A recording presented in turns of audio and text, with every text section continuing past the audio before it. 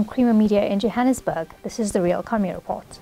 Conventional mining operations have relied on pneumatic machines for years, but mining equipment supplier Epiroc is confident that its handheld Rock Drill 100 is poised to replace current pneumatic models in the markets, especially once its multi-stage pusher leg becomes available.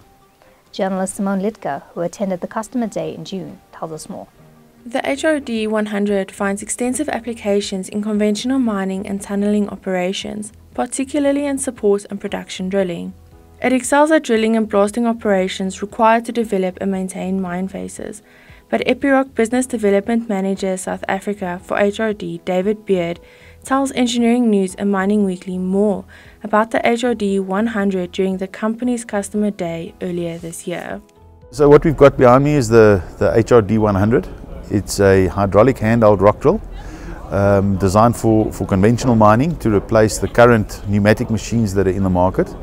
Um, reasons being is that it, it, it, reduces your operational costs, increases your productivity, and reduces um, your, your, or increases your safety for your operators underground.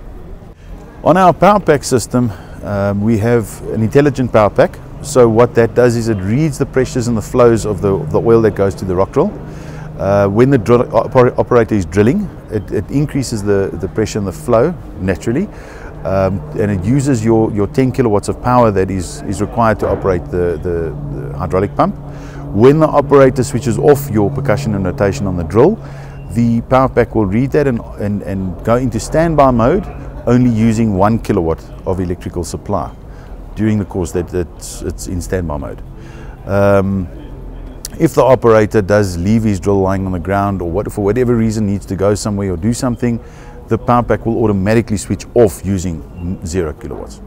It's hydraulic, so no high pressure water systems. Um, the only thing we do require in terms of water is a 12 litre per minute flow and a 5 to 8 bar water pressure supply. And that is purely to get the cooling of the oil done as well as the thrust from the leg to, to generate your, your 1 meter a minute penetration rate. Applications for, for conventional mining or tunneling um, to do your support drilling or your, your production drilling, in other words, uh, drilling your and blasting of the, of the faces that, that the mine require. The penetration rate that you get with the, the HRD 100 is it's, it's, it's the equivalent to other mediums in the market. However, your operational costs are a lot less than other mediums, including your pneumatic or the hydropower systems that you, that you mentioned earlier.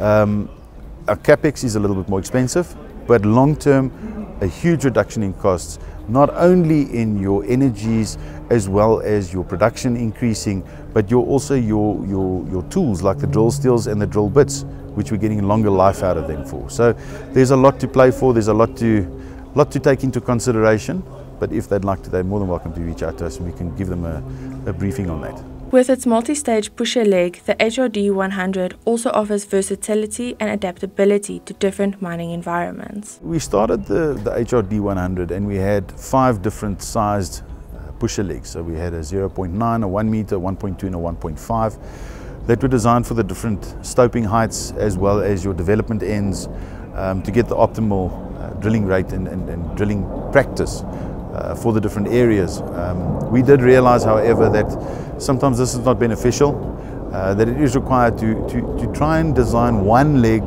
to suit all. Hence, we started with a multi-stage pusher leg, which is quite well known in the pneumatic market, but with water it was a little bit more tricky.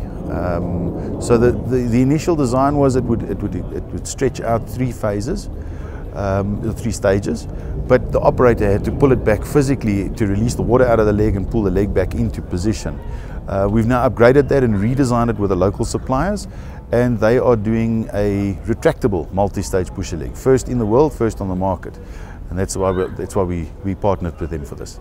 It's under test at the moment um, with successful trials to date. We've been drilling with it for, for the last few weeks.